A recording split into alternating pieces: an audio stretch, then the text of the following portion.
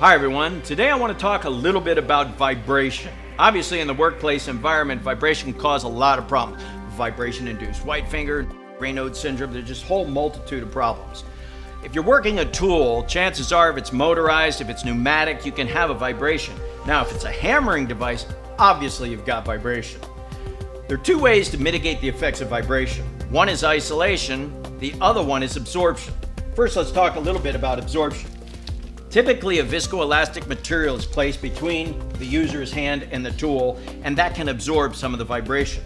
However, isolation, where you can decouple the hand from the tool, is the best way to do it. Because obviously, if the hand isn't touching the tool, there's no effects of vibration. PersonaGrip has the luxury of going into your workplace environment and observing the tool being used at a particular workstation. Now, if the worker is using a 95th percentile tool, meaning that for 95% of the people who hold it, they won't find it objectionable, thereby increasing sales for the manufacturer. If they were to relax their grip, the tool would probably slip out of hand and cause further injury.